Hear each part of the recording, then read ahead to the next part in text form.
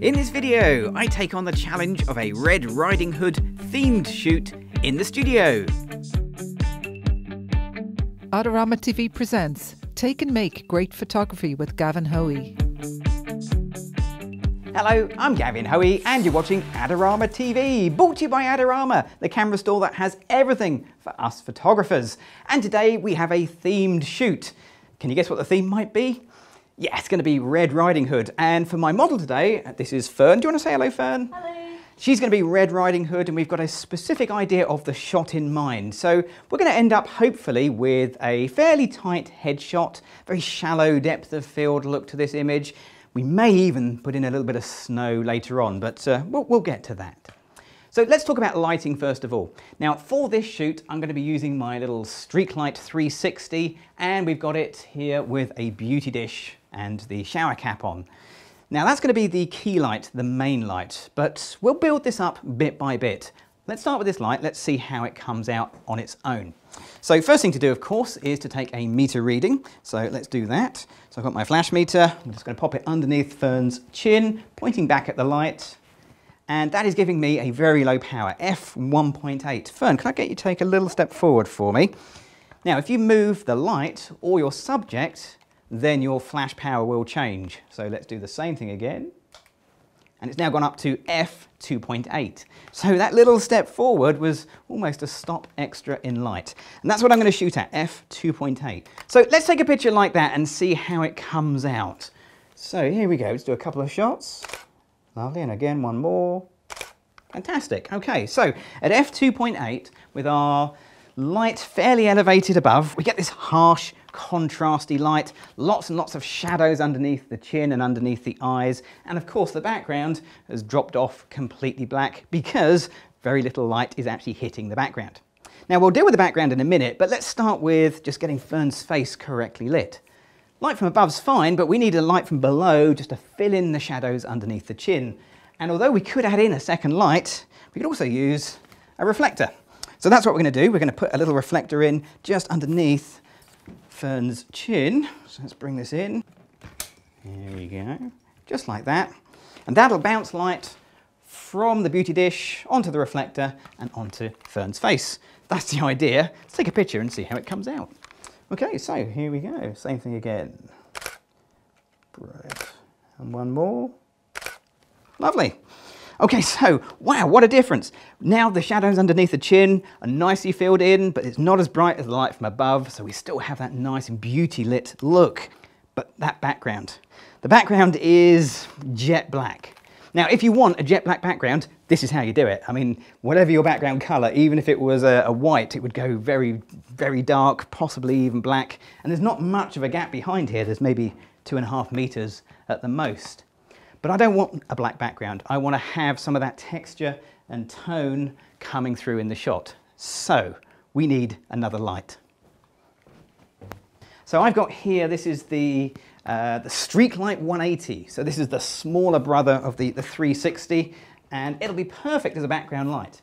Now I'm going to put it right behind Fern. So you can't see it, but trust me, it's here, right behind her, and it's pointing directly at the background. Now, we can change the power in a second, but let's take a test shot and see how it comes out, and we'll work out whether that's right or wrong from there. So Fern, let's go for another shot. Here we go. Brilliant, and one more. Bang, okay, perfect. So looking at the shots, we've got some light in the background. It's a little bit off to one side, and it's not as bright as I would like. That's why you take a test shot, so now you can refine it a little bit. So we'll move that light ever so slightly to the side and I can increase the power of the light here using the Streetlight remote. So I can add in maybe an extra stop of light. Three clicks, that's one more stop of light. Okay, let's try that again. Here we go. And again, perfect. Okay, so with that, I've now got a little bit more light around the back of Fern, and I think that's a, a nice balance on the amount of light that's being produced by the background light, and it's balancing up with our key light as well. But there's one more thing we can do the colour. The colour is going to be whatever colour the background you're using is. And whilst this grey is really good, I do love my grey background, what we want with this shoot is to make it look like we're actually outside. So we want to change the colour of the background. Now we could go with a sort of a cold blue colour because we're, we're going to use a bit of snow in a little bit and blue, snow, that could work well. But of course, Red Riding Hood, you'd be out in the, the woods, wouldn't you? So we want to perhaps go with a more woody colour and to do that, I'm just going to grab myself a gel. So the street lights have gels that are, correctly made for them, but of course you can get gels to go on any flash that you like. This one just clips to the front of the street light like that, and that's going to add a bit of green colour into the background. Now remember, when you add a gel, you're going to change the amount of light that comes through the flash because the gel will act like a, a bit of a pair of sunglasses, so you might need to change the exposure. Best way, take a test shot, see how it comes out. Okay, so let's go again. Here we go. Brilliant. One more. Good stuff. So with the green, it's there, but it's not as powerful, not as bright as I would like. I'm going to increase the flash by one more stop, just on the background only.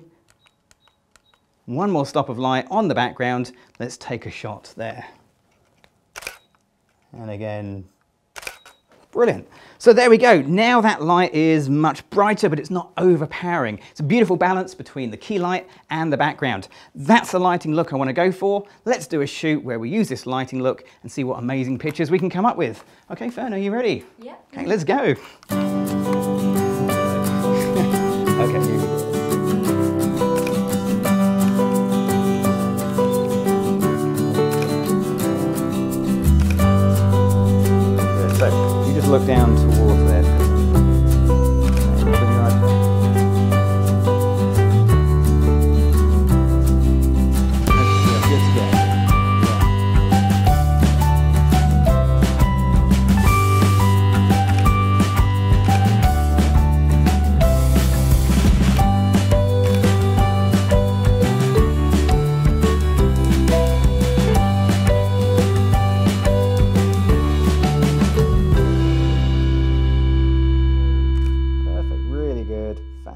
Fantastic. Okay, and we'll do one more and we're done.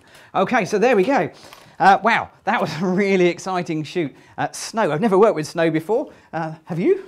No, it's the first time for me too, but it was fun. it was great fun. So what we're going to do now is get our favourite picture into Photoshop and we're going to do some editing and we'll do that right now. Don't forget to check out Adorama's latest contest and your chance to win amazing prizes. Fake snow in a can. Absolutely brilliant stuff for photography. Now if you are going to use this, do make sure you read and follow the, the safety instructions on the back.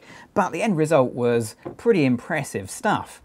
Now, the lens I was using was all part of the plan. I was using my Canon 50mm f1.8 lens because I wanted a really shallow depth of field to make the snow have a very shallow depth of field and add to the sense of three dimensions in the image. It really is a brilliant lens. It's kind of a must-have. Every photographer should have a, a 50mm f1.8 lens in their kit bag. So what about the end result? Well, this stuff is quite random. You, you, don't really have much control over where it's going to go. So you won't be surprised to hear there's a little bit of cloning to do in this image. Let's have a look at a couple of ways we can do it. So this is the, the picture and I've got a bit of work to do. There are some large lumps of snow that shouldn't be there. There's another one kind of down here that's in the way. And there's some small fine bits on the face which I'm, some I like and some I don't. Let's start with the fine stuff. To remove the fine little spots of snow, I'm going to use the spot healing brush. Now some of the spots I don't mind. I mean the ones that are white, they look fine, but the ones that are grey, less so. Why is there grey snow? Well, with the, the, the light we were using, it was quite a small area of light, so any snow that was just outside is going to fall into shadow, and it's going to give you that slight grey feel. So that's just one of those the things about the Beauty Dish. It's not a, not a great big light source, but then that's, that's fine. I'm not going to take all of them out. I'll leave a few on because it adds to the feeling of snow. What about the larger stuff? Well, there's a large bit down here that definitely needs to go. For the larger things, I'm going to switch to the patch tool because the patch tool allows me to select around larger areas and the reason I love the patch tool is when you move that selection by dragging it you can see exactly where you're going to sample from and I can follow the line of the ribbon just to make sure that that ribbon line continues in a nice neat direction. There you go, it's gone. Now you might think I'm going to patch the hair as well, and that might work, except there's not really much to sample from on the hair. and that is quite a large lump that needs to go. And I'd like to keep the hair looking real. So what I did was I took more than one picture. You kind of have to with this sort of thing.